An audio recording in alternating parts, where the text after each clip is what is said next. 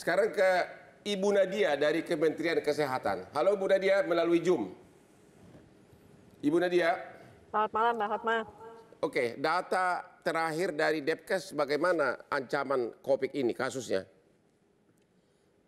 Ya, kalau uh, kita lihat memang tadi seperti disampaikan oleh Prof. Erlina ada peningkatan sejak awal Desember itu per hari uh, jumlah kasus yang dilaporkan itu mencapai 100 kasus bahkan kemarin sempat menyentuh pada angka 359.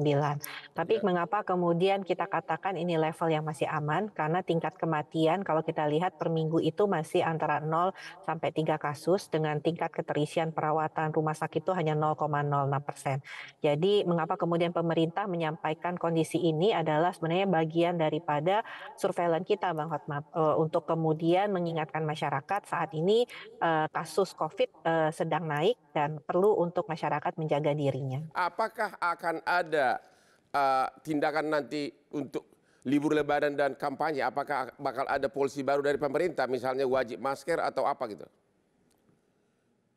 Ya, jadi kita sudah mengeluarkan surat edaran uh, per tanggal 8 Desember uh, untuk nakes dan pelaku perjalanan uh, luar negeri. Kemudian uh, pada tanggal uh, 16 Desember uh, terkait bagaimana antisipasi lonjakan kasus COVID-19. Nah, okay. kalau kita berbicara mengenai apakah nanti ada pembatasan kegiatan uh, di masyarakat ataupun seperti situasi pandemi yang uh, kemarin sempat kita uh, lalui ini uh, ke arah sana ini masih sangat jauh karena indikator-indikator tadi masih sangat aman dengan tentunya kalau kita lihat uh, jumlah kasus naik tapi fatalitas itu tidak uh, menjadi suatu uh, kekhawatiran. Jadi uh, dirasakan perlu perlu untuk ada pembatasan kegiatan masyarakat. Sementara penggunaan masker itu bukan suatu kewajiban tapi himbauan karena kondisi-kondisi ini sebenarnya sudah kita antisipasi pada saat kita melakukan pencabutan pandemi COVID-19.